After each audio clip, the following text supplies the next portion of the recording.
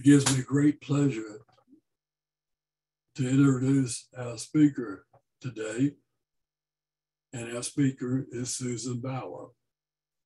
Susan joined the Chapel of Life in 1987 after attending chapel services and classes starting in 1985.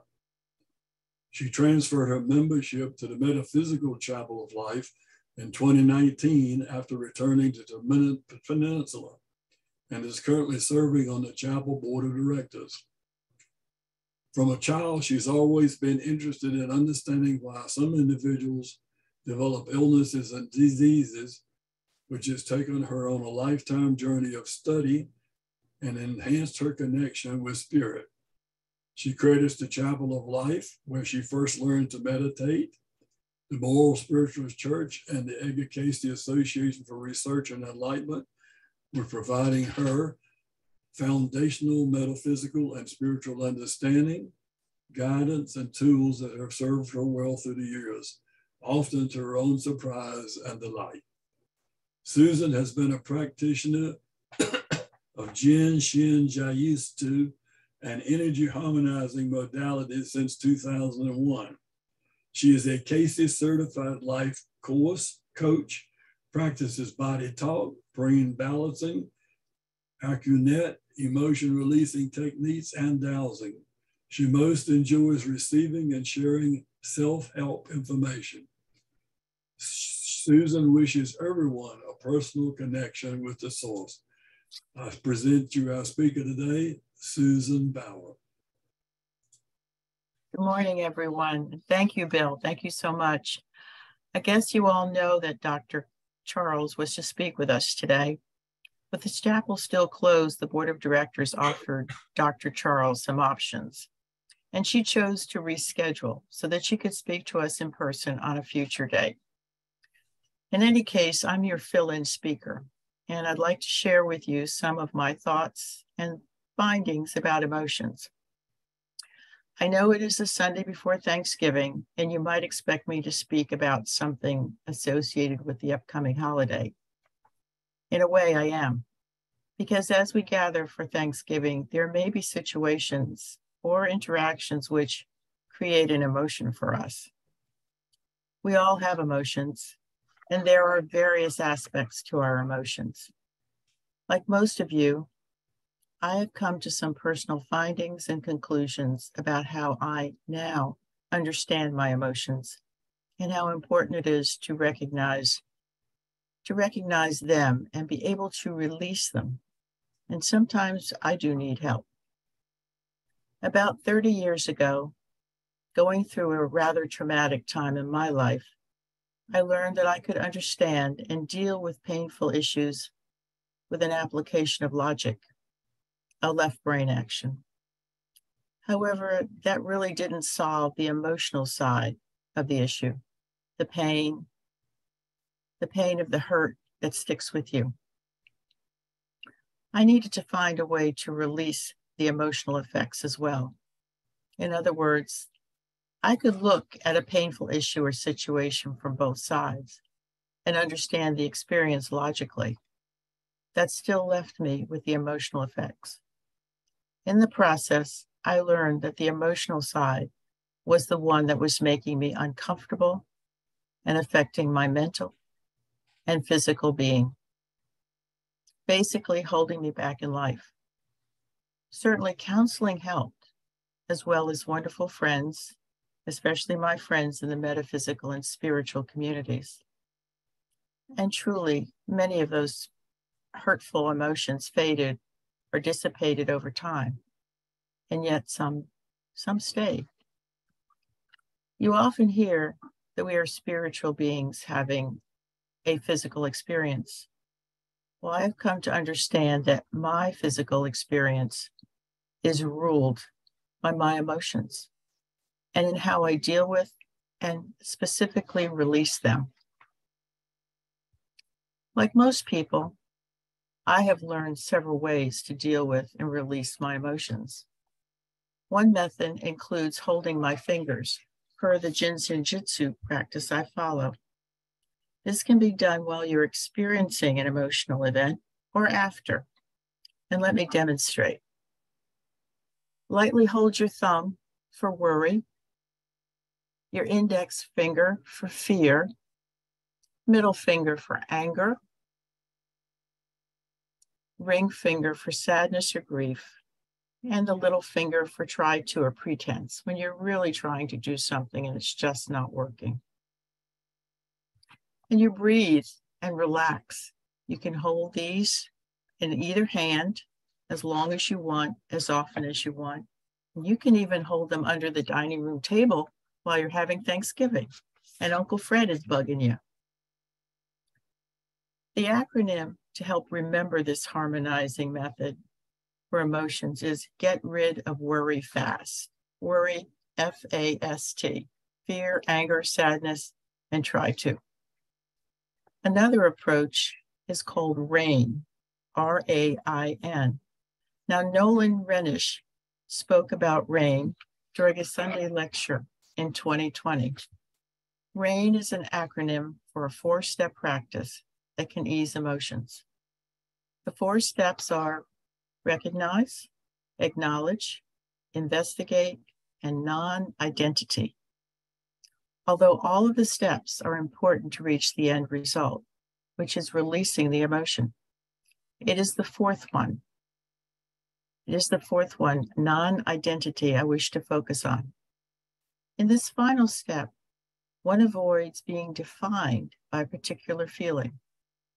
You permit yourself to see your own anger, fear, or resentment, whatever is there.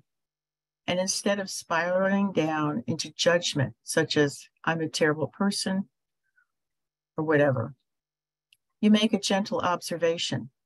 Really not in a good place. This is pretty painful. I don't care for this too much, whatever. However, you also say, This is not who I am or who I want to stay. I don't want to stay angry. The key point in any of the methods we might choose to use is to release an emotion. Release the emotion so it doesn't stay with us, that it doesn't become stuck and part of our body, affecting our health and our well being. You may say, hmm, what you mean about making emotions a part of our body. Well, in the process of my journey in understanding my emotions, I found interesting information on the molecules of emotion, a scientific view of emotions. Whenever we experience an emotion, there is a biochemical reaction that occurs in the body. The hypothalamus gland secretes a neuropeptide specific to that emotion that we're experiencing, and it travels to cell receptors. The body and mind experience the emotion when the specific neuropeptide binds to the cell membrane receptor. Receptors are places in the body cell membranes that receive trans, transmitters, vitamins, minerals, these receptors are designed to hold nutrients for physical health of the body and mind, such as vitamin A, B, C, protein, lots of things.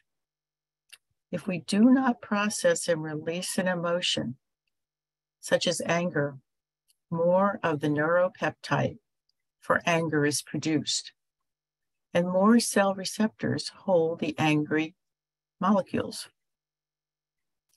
This limits the number of receptors available along the cell membrane to receive the necessary nutrients, such as the vitamins. Once anger or other emotions, such as grief or sadness, are released, the nutritional receptors can receive the vitamins and protein needed for the body's nutrient health. Dr. Candace Pert was a pioneer in this field of research. She stated, feelings are as powerful as drugs, and they work the same biologically, utilizing cellular peptides and their receptors. Therefore, feelings are the molecules of emotion. Basically, These molecules of emotion become a part of the entire body because they are stored in the cells of all tissues. Dr. Pert also stated we know that the immune system, like a central nervous system, has memories and the capacity to learn. Thus, it could be said that the intelligence is located not only in the brain, but in cells that are distributed throughout the body, and that the traditional separation of mental processes, including emotions, from the body is no longer valid. So it seems that scientific studies confirm that having healthy and balanced emotions are directly related to our health. And I would add to our happiness and our satisfaction with our daily life. Therefore, one might extrapolate that a stuck emotion, one that has not been released, has just the opposite effect on our physical and mental health and our very happiness. Because it's blocking receptors needed for nutrient health and well being. I was pleased to read in Pam McIntyre's contribution to this week's newsletter the following. To express ourselves wholly, we will need to address our emotional body, the unconscious parts of us that runs the show. To evolve, our emotional body must be on board. Well, based on the findings of Dr. Pert and others, our emotional body may well reside in the receptors of our cell membranes. So, back to stuck emotions. Stuck emotions can be positive or negative, a past wonderful experience or a past trauma, or even a misunderstanding of a simple comment made to us when we were young children. Just for example, imagine you had the best summer ever when you were eight. And the emotion of that memory stuck with you, now a cell memory. Now at the age of 20, 30, or maybe more, every summer you have, every summer vacation, you compare that to the one you had when you were eight. You don't even realize you're doing it. In each case, you find the new summer vacation never measures up in any way, never makes you totally happy or satisfied. So, a stuck emotion can be a happy one and still impede the quality of your life. I think you can all imagine a negative stuck emotion including words from a parent or an adult indicating disapproval of an action of a young child.